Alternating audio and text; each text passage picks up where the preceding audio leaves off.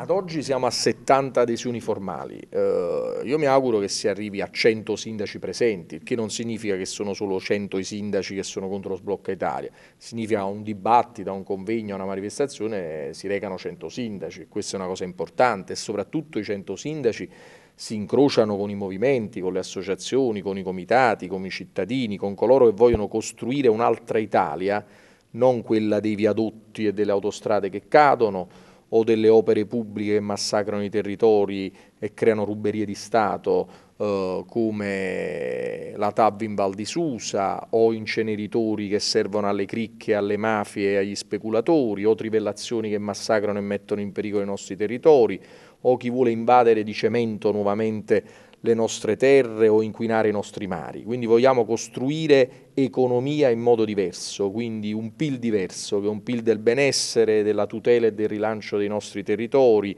di una ridistribuzione dei patrimoni, della vicinanza a chi non ha denari, vicinanza agli enti locali, alle persone, una maggiore umanità nel progetto politico. Quindi credo che da Napoli, da Bagnoli, possa esserci anche l'epicentro di un progetto politico insieme a tante altre persone, tanti sindaci e tante associazioni e tanti movimenti e comitati che in lotta nel Paese stanno cercando di difendere le nostre terre da provvedimenti normativi che sono profondamente pericolosi. Nella nostra città lo sono ancora di più se pensiamo che una norma, un articolo addirittura viene dedicato proprio alla città di Napoli, l'articolo 33 su Bagnoli con il commissariamento. E a me farebbe piacere che ci, eh, che ci convocasse il Presidente del Consiglio, noi siamo pronti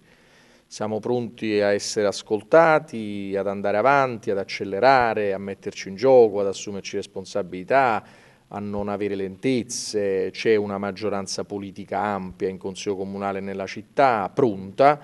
eh, non deve più cincischiare sul commissario, il Presidente del Consiglio. Se si vogliono ristabilire rapporti corretti tra istituzioni, il Presidente del Consiglio convochi immediatamente la città di Napoli attraverso i suoi rappresentanti eletti democraticamente dal popolo e il Presidente della Regione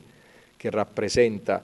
in modo democratico la Regione Campania, li convochi a Roma e si lavorasse insieme non stop, senza stare bloccati a otto mesi con un commissariamento che fuori legge e che espropria la democrazia. Napoli non sarà mai espropriata né da Renzi né da nessun altro.